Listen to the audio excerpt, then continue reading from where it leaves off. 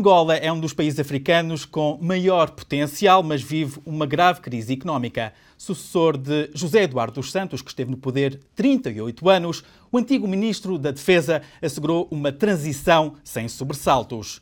E França foi sua primeira visita de Estado na Europa. E foi em Toulouse que nós encontramos João Lourenço. Senhor Presidente, obrigado uh, por nos receber. Bem-vindo à Euronews. Uh, Porquê França? Por que França? Porque a França é um país importante para, para Angola. Nós entendemos com esta visita procurar reforçar os laços de amizade, que já são históricos com, com este país. Tivemos a oportunidade de interagir com. Inicialmente estavam previstos cerca de 80 empresários franceses, mas acabaram por ser eh, surpreendemos-nos já na sala que acabaram por ser cerca de 150 empresários eh, franceses, ávidos em, em saber do, da nova situação que Angola vive, do novo ambiente de negócios que, que estamos a criar no, no país. Justamente uh, em termos económicos, uh, que medidas tomou e que medidas tenciona tomar justamente para incentivar o investimento em Angola? O investidor privado estrangeiro já não tem a obrigação de se juntar a, a, a nenhum empresário nacional, portanto, falo-se assim entender. Em termos de vistos para os homens de negócios irem a Angola, criamos um quadro de uma grande facilitação e, para alguns casos mesmo, um quadro de isenção de vistos, de vistos em passaportes ordinários. Por outro lado, eh, estamos muito empenhados em afastar um, um, grande impedimento para os negócios em Angola, que é o, o chamado fenômeno da corrupção. Portanto, isto é uma luta que é difícil, vai levar algum tempo, mas nós estamos, estamos preparados para enfrentar esse, esse gigante de corrupção e temos a certeza que vamos vencê-la. O senhor é muito popular em Angola. Uh, mas também há muito ceticismo no país. Uh, o senhor Presidente surpreendeu ao mexer em certos interesses uh, instalados. por exemplo, afastou membros da família do anterior Presidente de setor-chave. Isto é apenas uma mudança de cadeiras ou vão existir verdadeiramente reformas e uma mudança de atitude? Não é uma mera dança de cadeiras nós mexemos nos quadros sempre na esperança de alcançar melhores resultados nos setores em que essas figuras estão à frente. Eu não mexi em, em filhos do ex-presidente, eu mexi em cidadãos angolanos. São cidadãos angolanos que estão sujeitos, tanto como os outros, às mesmas regras. Nesses oito meses não foram exoneradas apenas duas pessoas. O jornalista e ativista Rafael Marques uh, recentemente diz que é mais do mesmo e que existem alguma, alguns indícios de, de práticas uh, menos corretas uh, em seu redor, elementos ligados Sim, ao seu mas quais, quais indícios? Tem a ver puder, com a utilização do, do, Fundo Soberano na, na, para a aquisição de aviões. Ao contrário de nós mexermos nos recursos do Fundo Soberano, ao contrário disso, nós estamos à caça desses recursos estamos num processo de procurar eh, reaver esses mesmos recursos. O que sabemos é que temos uh, menos do, do, do, que esse valor inicial, dos 5 bilhões, e mesmo assim tem-se uma, uma ideia de onde é que esses recursos estão. Em Maurícias, uh, na Inglaterra, em outros cantos do planeta. O normal seria, no ato de passação de pastas entre um conselho de administração para o outro, o anterior conselho de administração abrir o jogo de forma transparente e dizer onde é que esses recursos estão. E isso não aconteceu, ou se, ou se aconteceu, não, não foi convincente. Essa companhia ou consórcio de companhias entre a companhia de bandeira, a TAG e algumas empresas privadas eh, eh não vai sair. Não vai sair, não vai acontecer no dia em que isso acontecer, então eu agradeço que liguem para mim e dizem, olha, o senhor disse a Euronews que não existia consórcio nenhum, mas eu hoje viajei num dos aviões do consórcio do que o senhor fulano tal falou.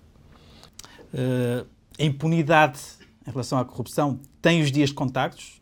Foi, foi uma, uma das frases suas na tomada de posse? Com certeza que tem. A impunidade tem os dias contados, portanto, o, a justiça está, digamos, adaptar-se ao, ao, novo quadro e quem combate a corrupção não são só os políticos. Os políticos fazem a parte deles. A própria sociedade deve e está a fazer a sua parte, com denúncias e, e outro tipo de, de digamos, de de reação contra a corrupção e, e obviamente, a justiça, digamos, é, é, é, a ponta final desta, desta cadeia de, de, de forças que têm a missão de combater a corrupção.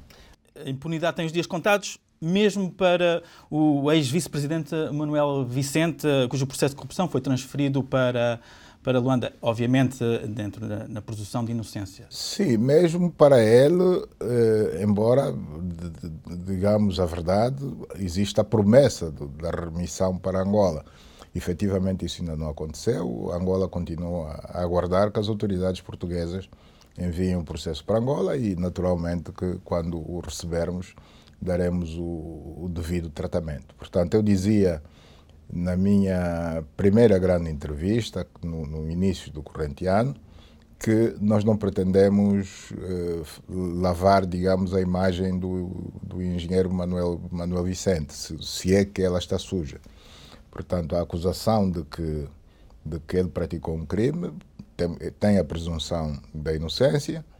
Eh, tão logo recebamos o processo de Portugal, as entidades competentes da Justiça vão prosseguir com, com, com o processo. Na tomada de posse, não só ignorou Portugal, eh, como deixou o país de fora dos importantes parceiros que Angola dará primazia. Como, como estão as relações entre Lisboa e Luanda? Bom, eh, em primeiro lugar, dizer que não ignorei ninguém. Portanto, há países que eu não citei, não era possível citar todos.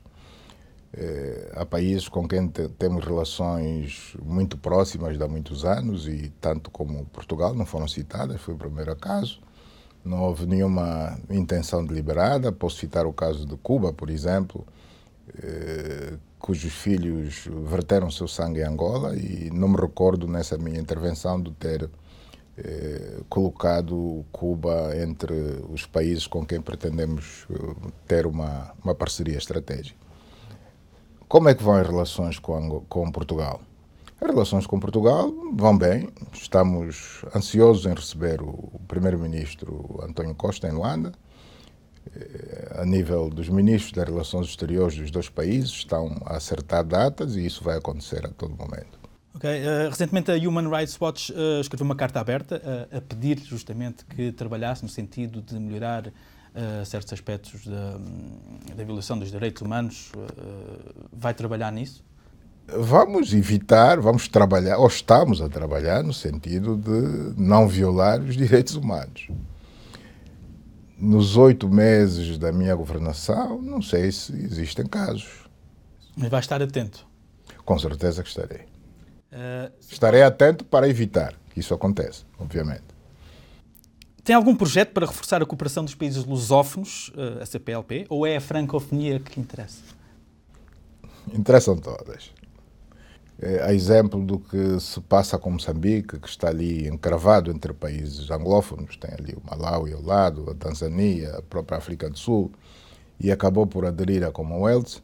É, também Angola está cercada não por países lusófonos, mais por países francófonos e, e anglófonos. Portanto, não se admirem que estejamos a pedir agora adesão à francofonia, que daqui a uns dias estejamos também a pedir adesão à, à Commonwealth. E por que não ser Portugal a porta de entrada na União Europeia e ser França? Bom, não sei quem disse que, que será a França. O simples facto de eu ter, estar a fazer uma visita à França não quer dizer que, que será a França a porta de entrada. Foi falado, foi falado na comunicação social que gostaria que a França fosse a porta de entrada na União Europeia. Não, dito por mim, não, não de certeza, não disse isso. Não disse isso. falei no interesse em estabelecer uma parceria, uma parceria estratégica com a França, mas a parceria estratégica eh, ninguém tem exclusividade disso, não se estabelece com apenas um país. Temos a liberdade de estabelecer com, com tantos países quantos nós quisermos. Portanto, eu não disse em momento nenhum, nem em público, nem em privado, que pretendia que fosse a França a porta de entrada para a União Europeia. Muitos angolanos uh, anseiam por reformas. Uh, existem graves problemas, uh, especialmente em termos de saúde, pobreza, cerca entre 20 a 30% da população vive em pobreza extrema. Quando é que os angolanos vão começar a sentir mudanças? Ninguém está em condições de estabelecer uma data. Isso, isso já está a acontecer, no fundo. Já está a acontecer, pouco a pouco vem acontecendo.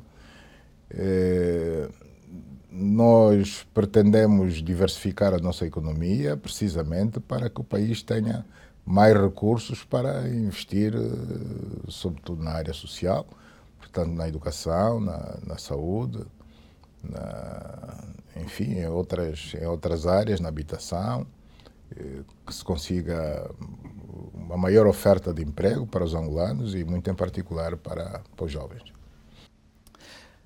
A agricultura é uma das suas grandes apostas e porquê? Bom, eh, em África não apostar na agricultura é, é, um erro, é um erro crasso. Portanto, a África tem condições ótimas para o desenvolvimento da agricultura. A agricultura é um ramo da economia que, que dá emprego, dá bastante emprego. Portanto, daí a necessidade de apostarmos na agricultura para matar a fome, por um lado, reduzir os índices de, de, de, miséria, que infelizmente ainda existem, temos de ser francos em dizer, e, e também, por que não, ser uma fonte de, de produtos de exportação como forma de diversificar. Em França assinou acordos eh, no âmbito da defesa. Eh, Podemos uh, saber alguns detalhes sobre esses acordos? Bom, os acordos, eh, regra geral, são acordos tipo. São acordos que dão a possibilidade de, depois disso, portanto, tem que se ver